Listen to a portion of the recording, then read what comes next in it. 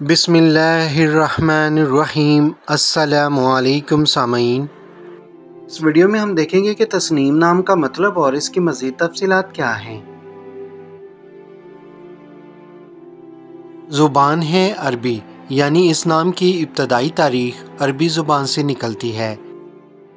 جنس ہے لڑکی یعنی اس نام کا زیادہ تر استعمال لڑکیوں کے لیے کیا جاتا ہے۔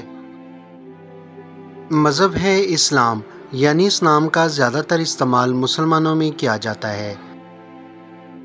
یہ نام اردو میں پانچ جبکہ انگلش میں سات حروف پر مشتمل ہے۔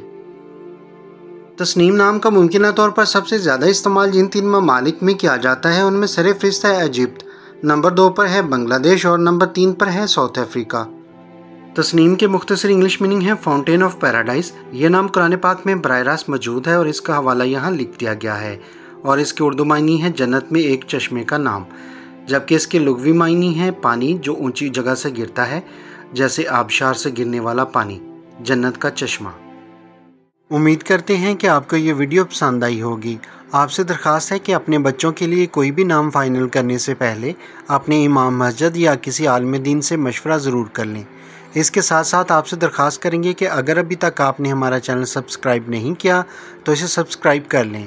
ملتے ہیں نیکسٹ ویڈیو میں، تب تک کے لیے اجازت دیجیے شکریہ۔ اللہ حافظ۔